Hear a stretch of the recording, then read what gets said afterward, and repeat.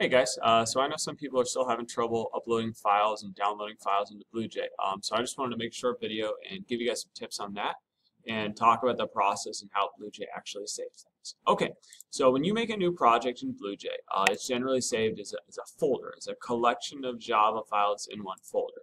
So let's say we're going to do this. We're going to make uh, just an example. I'm going to call this the fake lab, and I'm going to save it on my desktop. Now, where you choose to save it. Usually you'll save it in your G drive if you're at school or wherever you save files at home.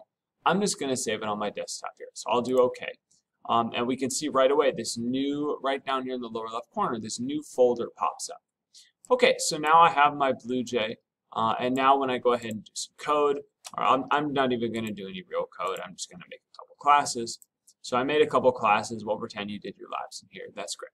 Okay, so if I close BlueJ, the way they're saved is inside this folder. Now, you're going to notice it looks like this. Um, they look like Java files in JGrasp. And, and sure enough, when you click on them, um, they'll actually go ahead and open in JGrasp. That's kind of what we'd expect. So don't be too confused by that. Um, that's just how Java files will by default probably open on your computer. If you want to open them back in BlueJ, that's the point of this package. Now the package doesn't actually contain any code all the package does is it opens everything that's in this folder. So because I have these two Java files in the folder, when I click on the package, it's going to open the two of them in a BlueJ project. And we'll see, that's what we just had. Now, if I didn't have these in my folder, so if I just got rid of the Java files, if I just tried to open the package, it doesn't do anything because there are no Java files by itself. So if you're having this trouble where, oh, I opened the package, but there's nothing in there, a lot of chumps have been doing that, the problem is, is your Java files aren't in the same place. So you make sure they're in the same place, um, and then you'll go ahead and it'll open and everything will be just fine. Okay, so when you go to upload on Google Drive, uh, what you'll do is you're going to upload your Java files, because that's where your actual code is. Um, and you're also going to upload the package so you can do that at home. So what I'm going to do now, I'll go to my Google Drive here. Uh, I have my turn-in folder. You probably have your own turn-in folder with your name on it. And I'll just drag these in here. Um, so I'm dragging in the Java files and the package. Uh, and they should upload. It shouldn't take more than a few seconds. Okay, so now they're that. So now let's pretend we're at home. All right, so you're at home, you're chilling. Uh, you get home, you open up Google Drive, you have package, you have your Java files. So what you need to do now is save them. And you're going to download all of these and save them in the same place. So I'm going to make a new folder on my desktop or wherever you save your code at home.